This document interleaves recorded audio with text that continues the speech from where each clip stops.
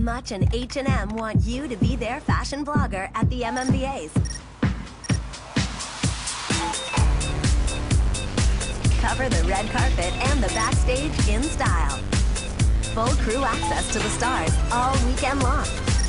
Capture, tweet, cover everything fashion. Be the H&M fashion blogger at the 2011 MMVAs.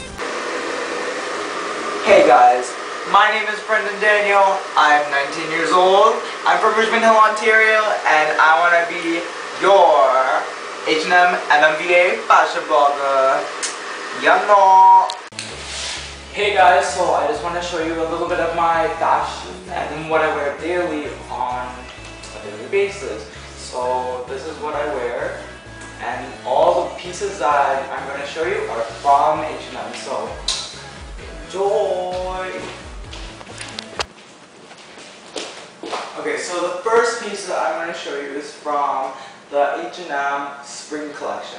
This is a jacket that I bought a couple months ago. It wasn't that expensive, it was very affordable. And I just love this jacket. It's like so shiny, like it reflects everything. Like the light when it just comes to it, it just goes and I just love it because like since it's so shiny, it would attract attention, and I'm an attention seeker, pretty much.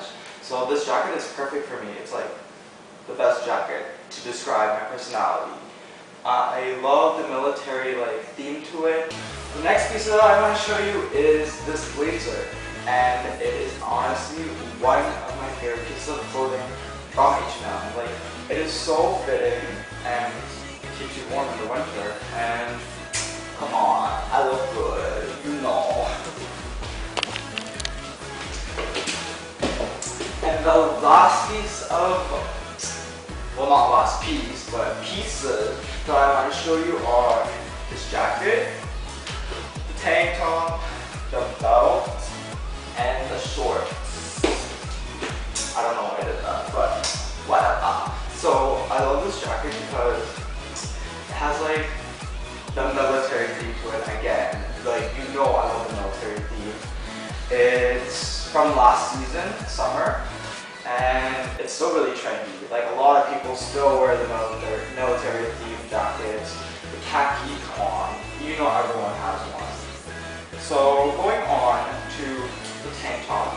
It's very flowy, I would say. It's very loose, and it's very good for those summer days. It's actually new to the summer collection.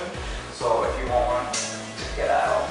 And then this belt, I love this belt. I love the pattern into it. And you know how like belts usually have like those holes that you stick the, the little knob in? well, for this belt, you don't really need that hole. You can just stick it in anywhere, basically.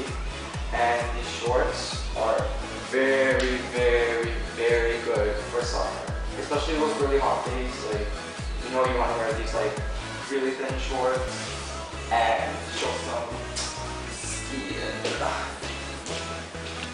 So, after watching this video, you have no reason but to pick me.